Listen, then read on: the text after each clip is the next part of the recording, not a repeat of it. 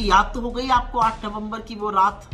मित्रों, आज रात से कारखाने, लघु मध्यम उद्योग बंद हो गए। लेकिन मोदी जी की सेहत पे कोई फ़र्क नहीं पड़ा। वो अलग बात है कि सात साल से नोटबंदी का नाम नहीं लेते। फिर अंत में कहा गया कि नकली नोट जो है वो बंद हो जाएँगे। 300 करोड़ से ज़्यादा के ऊपर के 2016 से अभी तक नकली नोट भी पकड़ दिए गए। बंधुओं, आज न चिप ढूंढना, न इसको मास्टर स्ट्रोक बताना।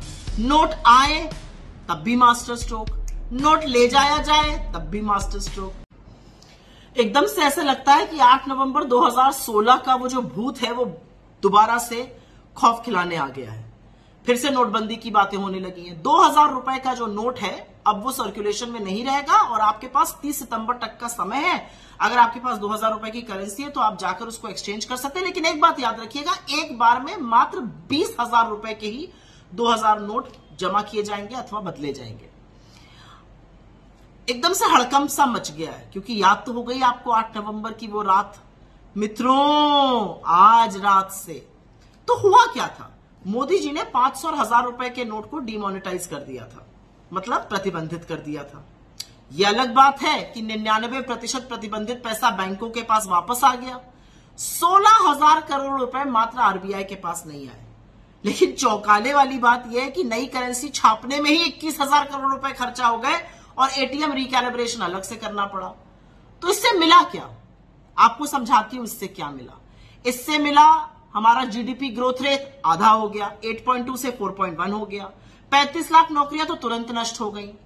कल कारखाने, लघु मध्यम उद्योग बंद हो गए। लेकिन मोदी जी की सेहत पे कोई फ़र्क नहीं पड़ा। वो अलग बात है कि सात साल से नोटबंदी का नाम नहीं लेते हैं। उसके बाद अब आगे सुन लीजिए। पहले कहा गया ब्लैक मनी खत्म हो जाएगा। ब्लैक मनी तो बिल्कुल खत्म नहीं हुआ है। ज़बरदस्त ब्लैक मनी चल रहा है। फिर कहा गया कैश खत्म हो जाएगा। सत्रह लाख चौहत्तर हज़ार करोड़ कैश था नवंबर 2016 में इकोनॉमी में। अब सैतीस लाख करोड़ है। डबल से भी ज़्यादा। फिर कहा गया टेरर फंडिंग बंद हो जाएगी। अभी रजौरी और पुंछ में हमारे पाँच पाँच जामाज शहीद हुए और मोदी जी एक शब्द नहीं बोलते वो अलग बात है। लेकिन टेरर फंडिंग बेधड़क चल रही है।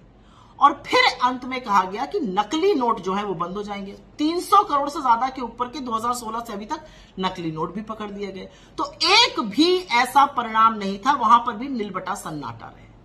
तो अब मुझे सिर्फ़ ये पूछना है कि जो कुछ मीडिया के साथी कवर फायरिंग देने के लिए ये कह रहे हैं कि मोदी जी और सारी पार्टीज़ को एक डायरेक्शन में चलना चाहिए, ये क्लीनिंग हो जाएगी ये कर्नाटक की हार के बाद ही क्लीनिंग याद आई। पहले नहीं आई थी। 2016 से अभी तक जनरल इलेक्शन भी हो गया, तमाम राज्यों के भी चुनाव हो गए। क्या हुआ?